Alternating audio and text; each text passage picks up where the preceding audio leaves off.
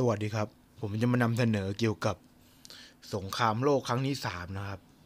เราต้องเตรียมอะไรบ้างนะครับ ถ้าเกิดสงครามโลกครั้งที่สามจริงนะครับ เรามาเชิญติดตามดูกันเลยนะครับ อย่างแรกนะครับ คืออย่างที่หนึ่งครับ คืออาหารนะครับ อาหารนี่มีความจำเป็นนะครับ ต่อพวกเราทุกคนเราต้องเก็บอาหารไว้เป็นอย่างแรกเลยนะครับ เราต้องเก็บอาหารแห้งนะครับ อาหารที่มีประโยชน์ต่อร่างกายเราด้วยนะครับอาหารที่จำเป็นจริง ๆ ครับ เราก็ต้องควรเก็บเมล็ดพันธุ์ด้วยนะครับเผื่ออาหารตรงนั้นเราหมดเราสามารถทำการเพาะปลูกได้ทันทีนะครับสองนะครับ เป็นยารักษาโรคนะครับ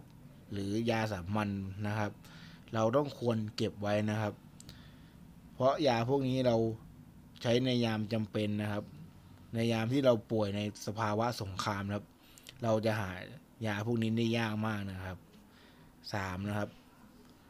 คือน้ำดื่มที่สะอาดนะครับ เราต้องควรเก็บไว้นะครับ เพราะเราขาดน้ำไม่ได้ครับ ร่างกายเรา มีความจำเป็นอย่างมากเลยนะครับ น้ำดื่มสี่นะครับ คือเสื้อผ้านะครับ ก็มีความจำเป็นเช่นกันนะครับ ไว้ปกป้องอากาศหนาวนะครับห้านะครับ คือสถานที่หลบภัยนะครับ สถานที่ที่สามารถให้ความปลอดภัยแก่ตัวเรานะครับ ได้นะครับหกนะครับ คือเชื้อเพลิงนะครับ เชื้อเพลิงในยามสงครามนะครับ เราก็หายากได้เช่นกันครับ เราต้องควรเก็บเชื้อเพลิงไว้อยู่มากนะครับ ใช้ไว้ในยามจำเป็นที่สุดนะครับเจ็ดนะครับ อุปกรณ์ป้องกันตัวครับ เราต้องมี อาวุธไว้ป้องกันตัวนะครับ เผื่อไว้ยามขับขันจำเป็นจริงๆนะครับแปดครับ เราควรมีพลังงานไฟฟ้าสำรองไว้นะครับ อาทิเช่น พวกแบตเตอรี่สำรองนะครับ หรือถ้ามีได้ก็เป็นโซลาเซลล์นะครับ ไว้ใช้ในยามที่เราอยู่ในช่วงสงครามนะครับแปดนะครับ คือวิทยุนะครับ